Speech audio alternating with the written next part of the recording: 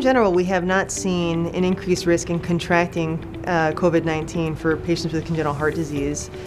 Uh, I think just like any other patient with any other chronic disease, they have to follow the same public health principles mask wearing, social distancing, hand washing, and so we haven't seen a disproportionate rate of, of contracting COVID 19 in our population.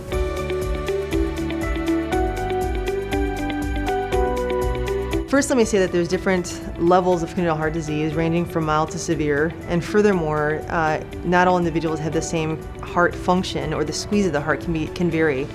And those can uh, portend different uh, outcomes depending on where you land in that spectrum. Like with any other disease process, any individual that has congenital heart disease and then also has high blood pressure uh, or uh, diabetes or obesity are at a higher risk, like anyone else would be at a higher risk with those same comorbidities.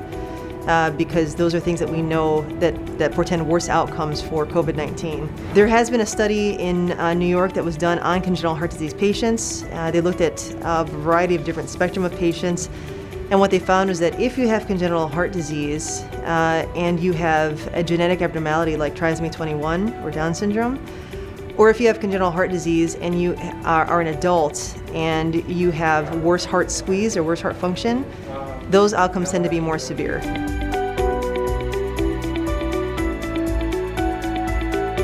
Yes, yes they can, and as a matter of fact, we encourage it. We encourage uh, not only uh, for them to get the COVID vaccine, but also if they receive the COVID vaccine, um, it should be under the auspices of guidance from either the institution, uh, their physician, or the CDC in terms of if, if they are, uh, if it applies to them to be able to get the vaccine. But yes, we do encourage it.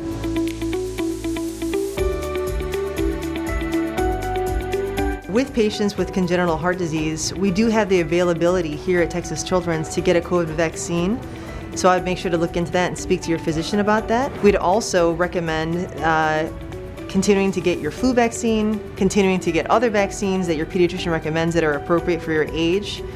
Um, and of course, we would further uh, and lastly recommend ongoing public health measures, social distancing, hand washing, and mask wearing.